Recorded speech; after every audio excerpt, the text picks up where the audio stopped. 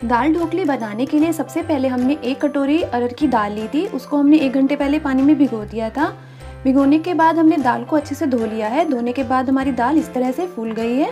अब हम इस दाल को कुकर में डालकर बॉईल कर लेंगे।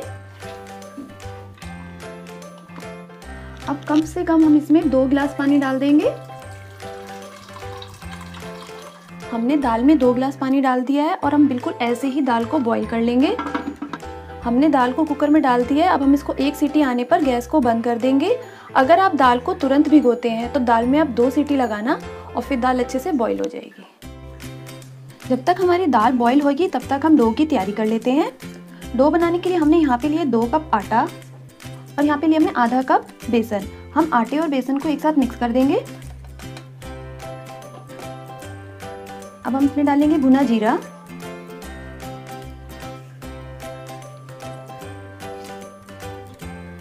नमक।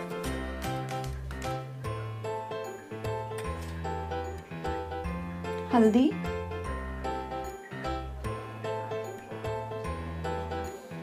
थोड़ी सी लाल मिर्च। अब हम आटे को मिक्स करके अच्छा सा सख्त डो तैयार कर लेंगे। अब हम आटे में एक चम्मच रिफाइंड ऑयल डालेंगे, छोटा चम्मच। और अब पानी डालकर आटे को गूंद लेंगे।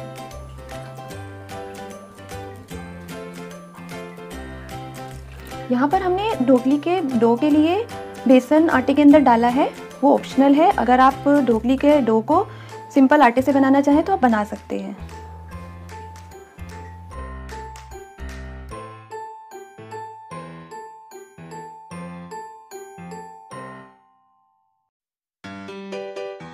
यहाँ पर हमने डो को इतना सख्त गूंद लिया है।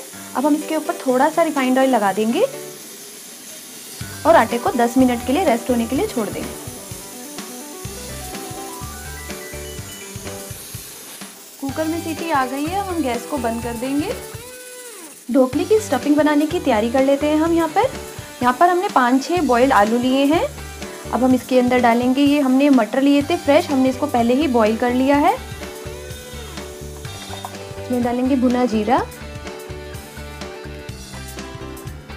हरी मिर्च चाट मसाला और गरम मसाला।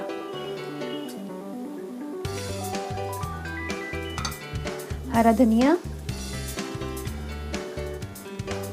नमक थोड़ी सी लाल मिर्च।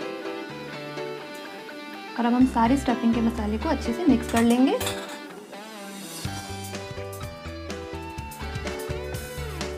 हमने सारे स्टफिंग के मसाले को अच्छे से मिक्स कर लिया है। देखिए कितना अच्छा कलर आ गया है। अब हम ढोकली बनाने की तैयारी कर लेते हैं। अब हम स्टफिंग की छोटी छोटी सी बॉल्स बना लेंगे। जो हम ढोकली का डो तैयार करा है, अभी हम उससे बनाएँगे। हम इस तरह से इसकी छोटी छोटी बॉल्स बना के रख लेंगे।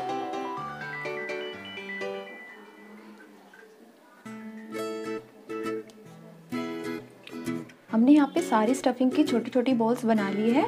अब हम ढोकली बना लेते हैं। एक बार आटे को दोबारा से हम हाथ से ऐसे मसल लेते हैं। आटे को दो हिस्सों में बांट लेंगे। अब हम इसे चकले पे कर कर ऐसे गोल गोल करेंगे।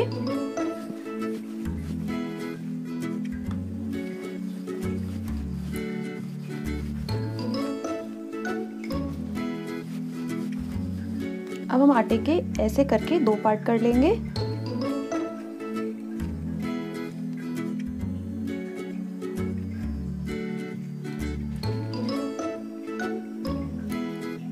अब हम एक पार्ट को रख देंगे, कपड़े से ढक देंगे और इस पार्ट की हम छोटी छोटी लोइयाँ बना लेंगे।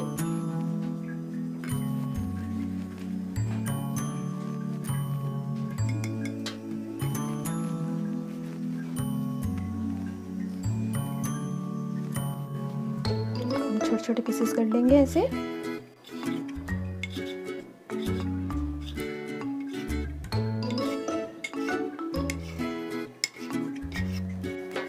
हम सारी ये जो लोइयाँ बनाई हैं, इनको साइड में रख देंगे। एक एक करके हम इसकी छोटी छोटी सी रोटी बेल लेंगे। और थोड़ा सा रिफाइंड ऑयल लगा लेंगे चकले पे।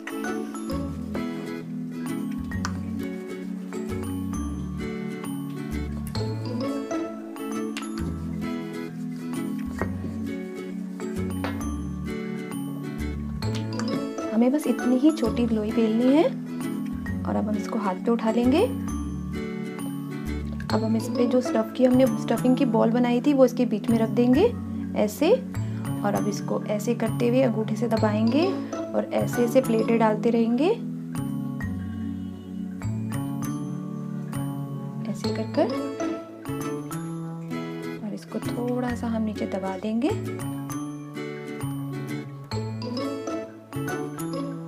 ऐसे करके हम सारी ढोकली तैयार करेंगे।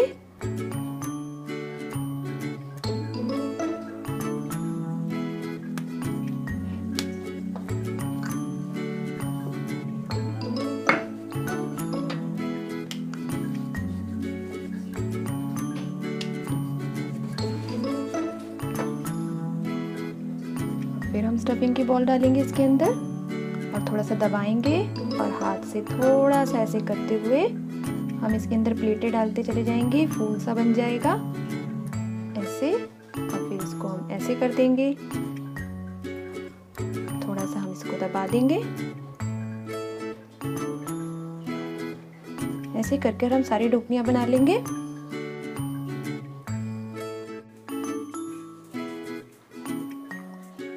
हमारे सारी ढोकलियाँ बनकर तैयार हो गई हैं। अब हम दाल की तैयारी कर लेते हैं। यहाँ पर हमारी दाल अच्छे से बॉईल हो गई है। अब हम दाल को हल्की गैस पे चढ़ा देंगे और इसको बिल्कुल मिक्स होने तक पकाएँगे। एक साइड हमारी दाल अच्छे से पक रही है। हम दूसरी साइड दाल के तड़के की तैयारी कर लेते हैं। दाल को ऐसे घुमाते घुमाते थोड़ा सा हम घूटते रहेंगे। कढ़ाई में हम दो चम्मच रिफाइंड ऑयल डालेंगे।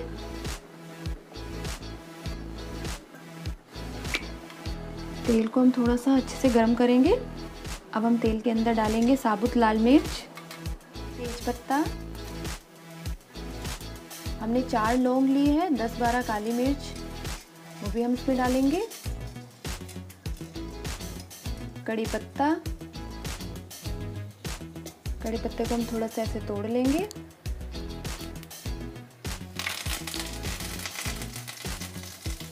हम डालेंगे सरसों दाना, मेथी दाना, हींग और जीरा।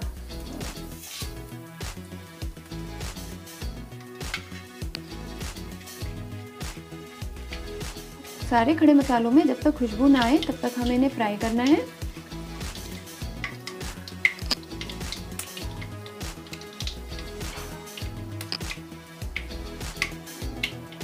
खड़े मसालों में से अच्छी सी खुशबू आने लगी है। हमने यहाँ पर लिया है पाँच टमाटर, चार पाँच हरी मिर्च और एक इंच अदरक का पीस हमने सबको पीस कर यहाँ पे पेस्ट बना लिया है। अब ये सारा पिसा हुआ टमाटर वाला मसाला हम तेल में डालेंगे।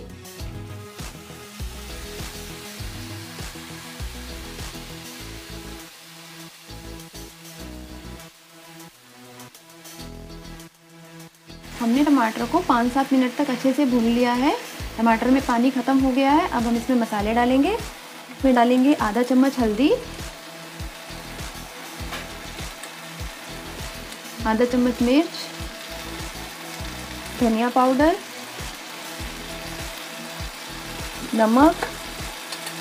नमक का हमें ध्यान रखना है क्योंकि हमने डो में भी नमक डाला था, स्टफिंग के मसाले में भी नमक डाला था और हमें दाल में भी डालना है। तो थोड़ा आप नमक कम ही डालें, अगर कम हो तो बाद में डालें। अब हम सारे मसाले को अच्छे से टमाटर के संग भूनेंगे।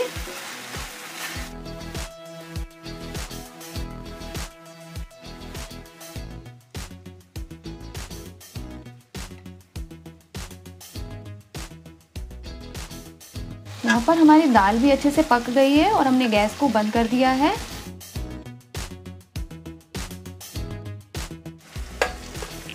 मसाला अच्छे से भुन गया है। अब हम इसके अंदर दाल डालेंगे।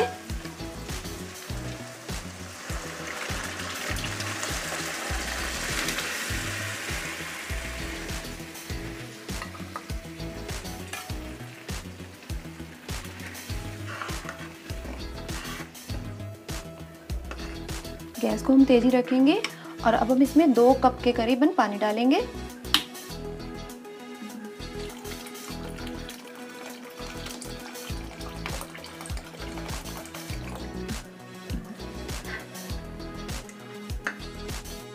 दाल में उबाल आ गया है। अब हम इसमें डालेंगे इमली का पल्प और हम थोड़ा सा मिक्स कर लेंगे। गैस को हम मीडियम कर देंगे। दाल में उबाल आ गया है। अब हम इसमें डालेंगे ढोकली।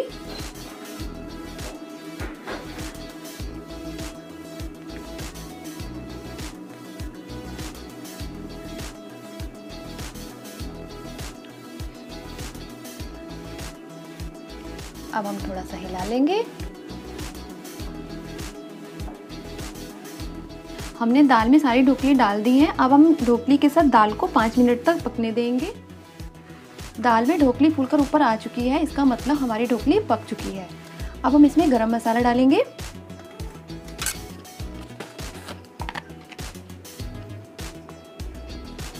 और हरा धनिया।